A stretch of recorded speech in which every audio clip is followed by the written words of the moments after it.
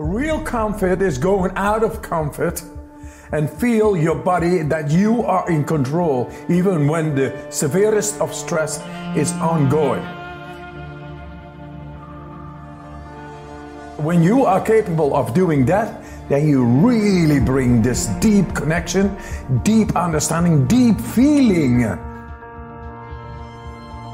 We have all the tools inside. We are born with them. We should learn how to use them. It's like the mechanisms, and it has a button. You can increase the volume of that. If you don't hear yourself from the inside, increase the volume. We are able to take over what actually is ours. And that is our happiness, our strength, and our uh, uh, health, and to fend off uh, stress mechanisms. We got so much technology, and how poor we are in our, the quality of our own life. Technology is great, but also get the biotechnology going. And that's your own brain I'm talking about. And that brain is the seat of the mind. And my journey is to show that we are born with the capacity to uh, handle our own happiness, which is the hormonal system, our own health, which is the immune system, and our own uh, energy or power, which is uh, cell mechanisms. The power to adapt to the stressor in general. We lost this connection is because we wear clothes all the time and we live in a comfort zone behavior. We think we can control nature, but by being non stimulative in our behavior, we lost the connection in the depth of our physiology. Because we are able to adapt about to anything. Mm. We are built to be able to adapt without stress into any stressful situation and get a solution. The body knows.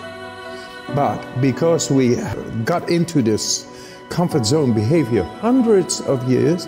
Our genetics have changed, our physiology has changed, everything has changed.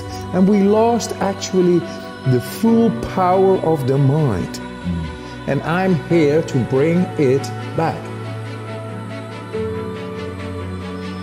And I am showing this all through science. So I made it tangible that what was out in the open now is within our conscious choice.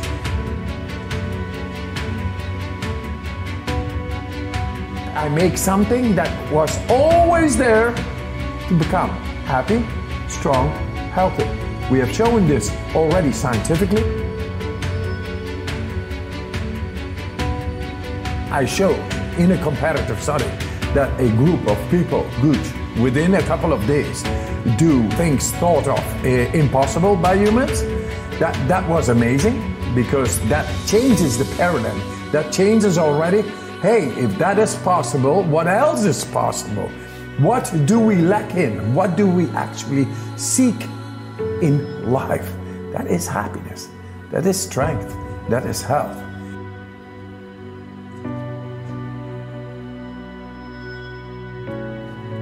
If we uh, name one problem in the world, it is stress.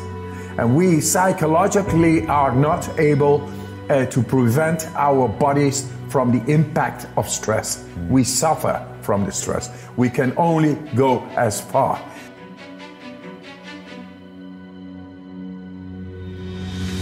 Simple techniques of breathing makes you a possible alchemist. The alchemist within you are able to tap into your own physiology and get rid of the intruder. Our neurology needs activation, needs stimulation. And the weather before in the prehistorics did it. That was the cold and the heat and the pressure and the danger. Now the dangers are still there. Only our bodies weakened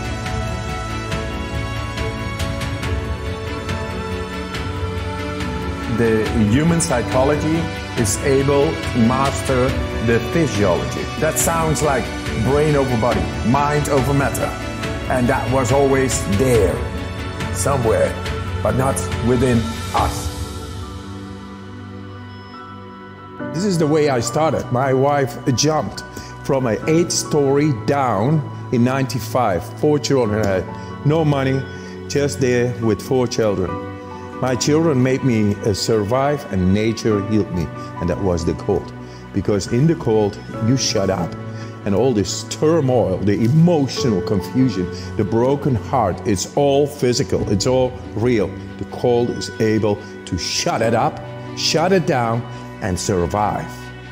And with that, I came slowly but surely in control over my emotions. And uh, now I am able to make uh, people aware of that capacity, even without uh, cold showers and all that.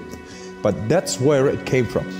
Now, I was powerless then with my wife, who was uh, schizophrenic and psychosis, that put all kinds of pills in and injections didn't work whatsoever. There I was, powerless. But now I'm empowered. I, uh, uh, in the subcurrent, I'm working now with those kids.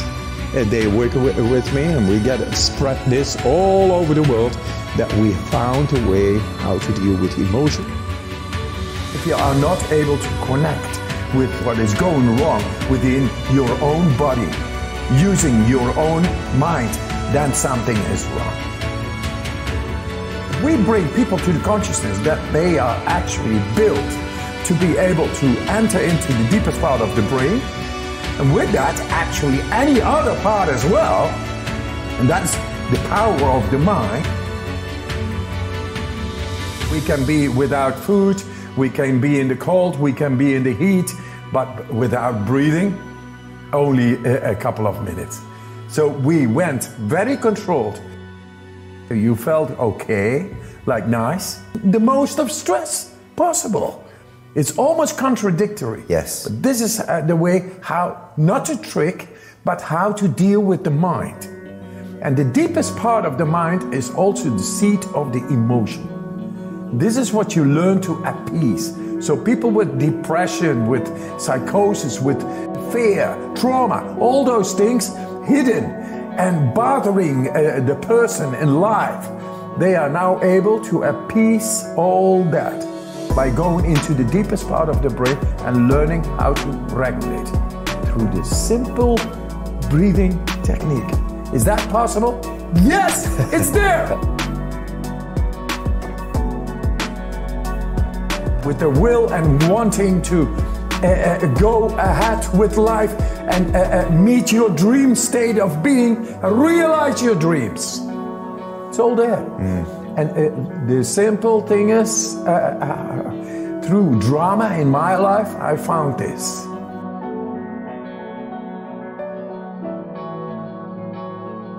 If you go into to the eyes, you're really not thinking about your mortgage or your wife or this or that. You're not going to picnic you feel. The focus will be on your feeling. How to get this feeling into adaptation and to overcome whatever is coming. And it goes directly.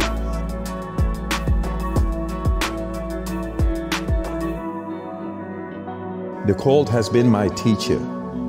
I just followed the teacher, the feeling, uh, learned to let go. Intuitively, I felt I want to do this. I did yoga, I did kung fu, did all kinds of things, and and uh, uh, great. But the call is really merciless but righteous. And I was ready to go in. I felt intuitively I want to go in because it has got something. I don't know what it is.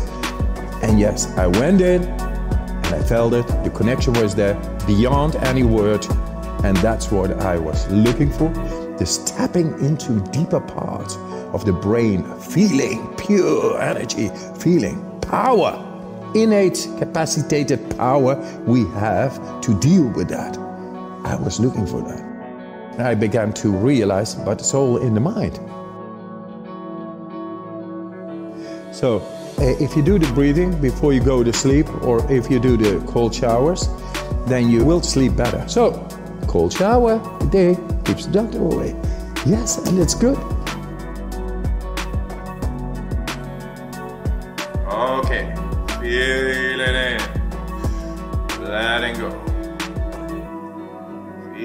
It coming in. Fully. Letting go.